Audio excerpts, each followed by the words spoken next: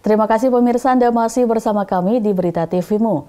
Pimpinan wilayah Muhammadiyah Sumatera Utara menggelar musyawarah pimpinan pertama 2023. Muspimwil dihadiri lebih 150 peserta yang berasal dari unsur pimpinan daerah Muhammadiyah, unsur pimpinan organisasi otonom, dan pimpinan majelis, serta lembaga tingkat wilayah.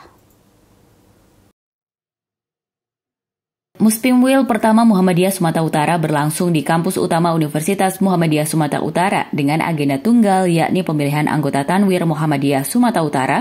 Muspimwil dihadiri Sekretaris Umum Pimpinan Pusat Muhammadiyah Abdul Mukti yang menjelaskan proses diterbitkannya surat keputusan pimpinan Pusat Muhammadiyah yang menunjuk Sumatera Utara menjadi tuan rumah Muktamar tahun 2027 mendatang. Abdul Mukti berharap Muhammadiyah Sumatera Utara sudah harus mempersiapkan langkah-langkah penting untuk suksesnya Muktamar ke-49, salah satunya dibangunnya UMSU Tower berlantai 17 di Komplek Kampus UMSU.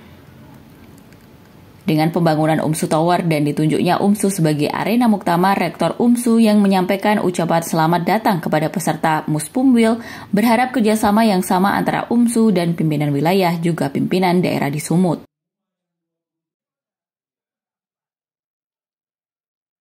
Dari Muktamar Muhammadiyah. Saya kira sudah jelas SK-nya, jadi lasaka wala roiba, tidak ada keraguan, tidak ada ketimbangan. Insya Allah itu sudah subut, sudah sudah pasti subut. Nah, maka Al Muktamar Al Muhammadiyah fi. Insya Allah. Karena itu nanti mungkin bisa ditambahkan bagaimana caranya supaya uh, segera setelah ini ada langkah-langkah untuk menindaklanjuti hal itu.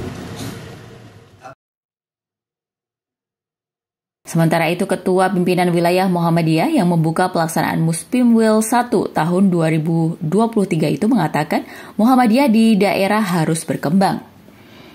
Hamsisa menjelaskan seputar rencana pengembangan provinsi di Sumatera Utara. Untuk itu, sebelum Sumatera Utara mekar menjadi beberapa provinsi, pimpinan pusat menetapkan Sumatera Utara menjadi tuan rumah. daerah harus berkembang. Apalagi sampai sekarang belum habis ya, masih moratorium betul belum habis rencana pembentukan provinsi di Nias pembentukan provinsi di Tabaksel malah ada Sumtra Sumatera Tenggara. Labuan Batu dan sekitarnya. Wah nanti akan banyak PWM di Sumatera Utara ini. Dan oleh karena itu sebelum banyak kita tes dulu untuk menjadi tuan rumah Muktamar. Muspimwil pertama tahun 2023 Muhammadiyah Sumatera Utara diakhiri dengan pelaksanaan pemilihan anggota Tanwir. Dari 10 peserta, maka 131 pemilik hak suara memilih 5 anggota Tanwir, yakni hasilnya Muhammad Korib meraih 100 suara, Mutolib meraih 99 suara, Irwan Sahputra meraih 96 suara, Mario Kasduri meraih 78 suara, dan Muhammad Basir Hasibuan meraih 62 suara. Satu anggota Tanwir lainnya yakni Ketua PWM Sumut Hamsi Sahnasution yang terpilih secara otomatis menjadi Ketua Tanwir. Samsul Hadi, Mas Rifai memberitakan dari Medan, Sumatera Utara.